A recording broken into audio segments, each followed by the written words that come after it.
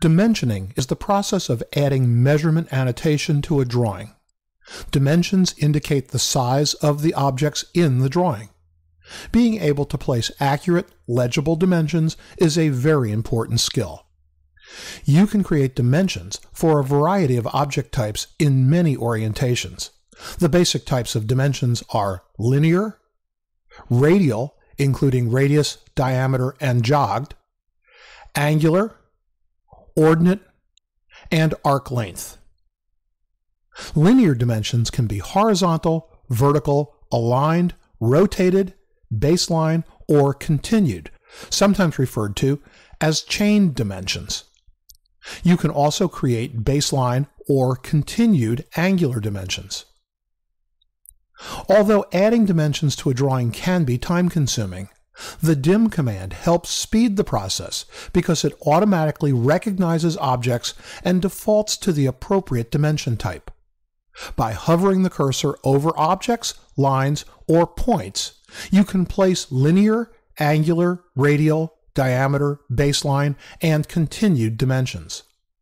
You can also use command options to place arc length and ordinate dimensions, add center marks or center lines, adjust dimension text, align dimensions, change the spacing between dimensions, and control the layer on which dimensions are created. On the Home ribbon, in the Annotation panel, click the Dimension tool. The program prompts you to select objects or specify the first extension line origin, and you can see that there are also a number of options. But in many situations, you do not need to choose an option.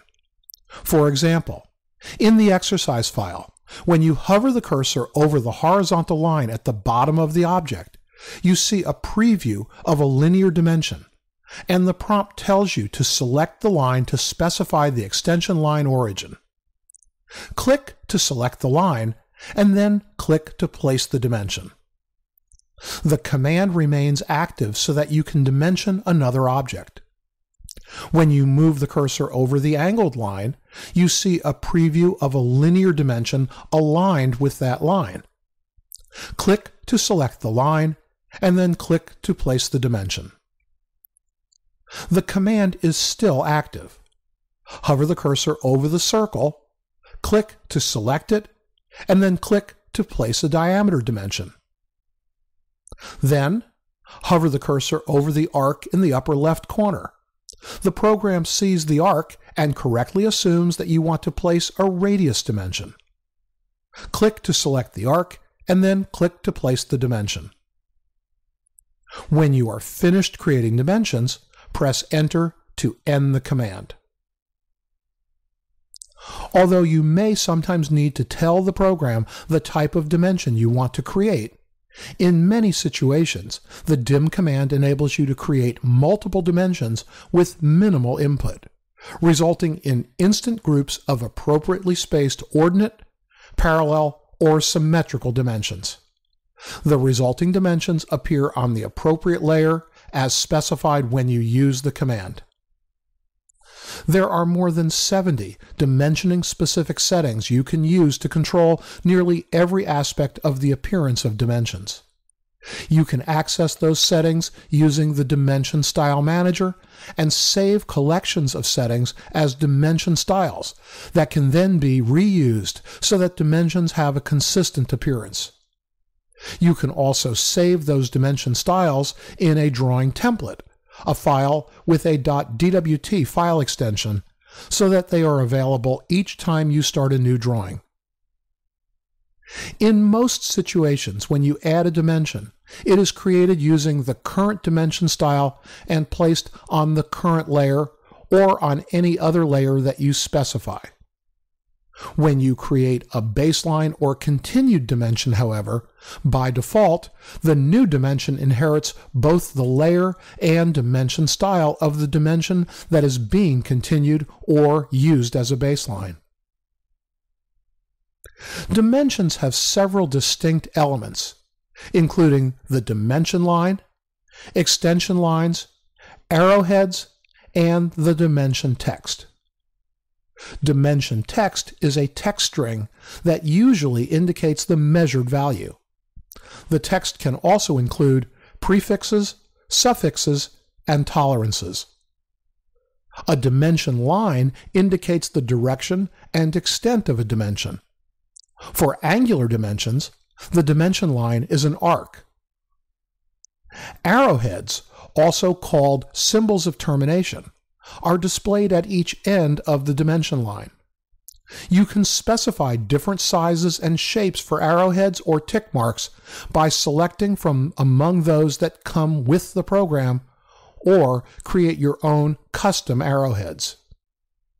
Extension lines, also called projection lines or witness lines, extend from the feature to the dimension line. Typically, when you create a dimension, the program automatically creates extension lines and leaves a gap between the object and the extension line. When you use ObjectSnap to place dimensions, by default, existing extension lines are ignored so that you do not inadvertently snap to an extension line while attempting to pick nearby geometry. You can control this object snap behavior for extension lines by changing an option on the Drafting tab of the Options dialog box. Right-click and choose Options from the shortcut menu to open the Options dialog, and then switch to the Drafting tab. In the Object Snap Options group box, when Ignore Dimension Extension Lines is selected, the program ignores extension lines when you use Object Snap to place dimensions. Click Cancel to close the Options dialog. You can also create a center mark, a small cross that marks the center of a circle or arc, or a center line, a pair of broken lines that mark the center of an arc or circle. Center marks and center lines can be created automatically when adding a diameter or radius dimension.